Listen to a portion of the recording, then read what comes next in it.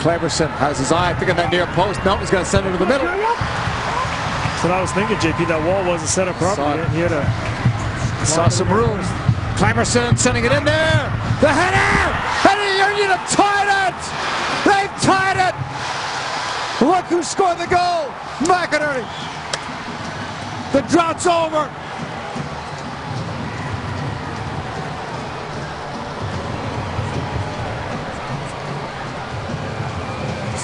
The drought is over on one of the rainier nights of the season. And we talked about it. This could be the time of all the nights to come out for it. Great ball in. DC does well to win it, but with all the numbers for Philadelphia, once again, Kleberson puts a second ball in there. Well, he wanted that one. Yeah, won it. He, He came, he came from a long way to get to that ball. And I think he, he probably got a yellow card too because he's now putting the jersey back on. So he really